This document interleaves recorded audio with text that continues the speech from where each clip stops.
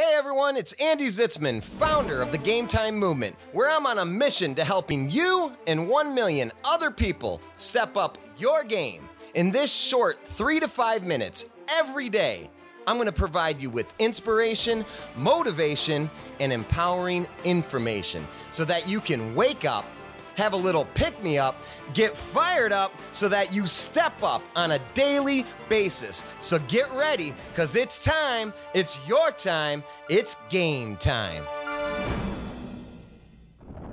Hey, what's up, everyone? It's Andy Zitzmann, and welcome to today's show. Today, I got a special dedication to my man, Louis Moore III. That's Louis Moore III, the comeback expert. And if you want to check out Louis, you can go to Louis, L O U I S M O O R E R.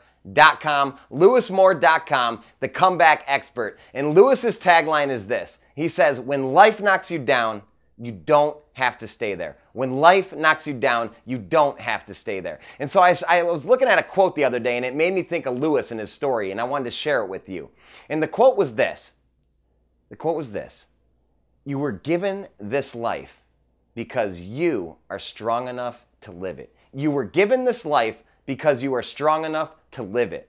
And in fact, another quote that's near and dear to me is the quote that says, God only gives you what you can handle. So think about those quotes for a second. You were given this life because you are strong enough to live it. Perhaps right now, you're questioning your capability of making your next step, stepping up your game, maybe achieving a, a, goal you have or a dream. Or perhaps you're just kind of stuck and you're just going in the motions, you're sitting on the sideline. But just know this whatever you were given, you can handle.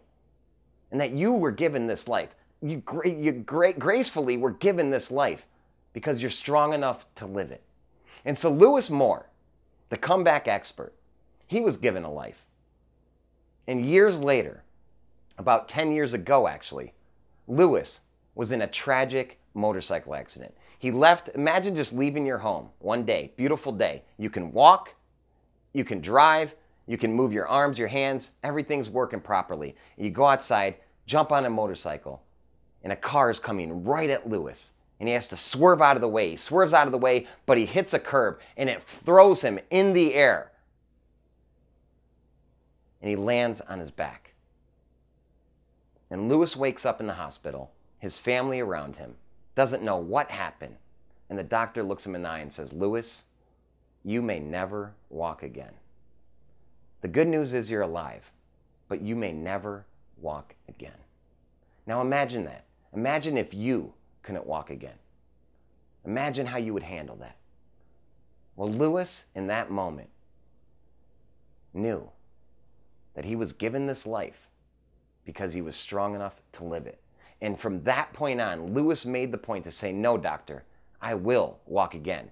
And for the next, last 10 years, Louis, each and every day, has gone to rehab. Each and every day has swam in the pool and walked in the pool. Each and every day goes to the gym and works out and works on getting his legs stronger and stronger. And for the first few years, he couldn't walk. But eventually, he got to a point where he could walk with the bars. Eventually, he got to a point where he could walk with a walker by himself. And now, today, 10 years later, he's defied all the odds.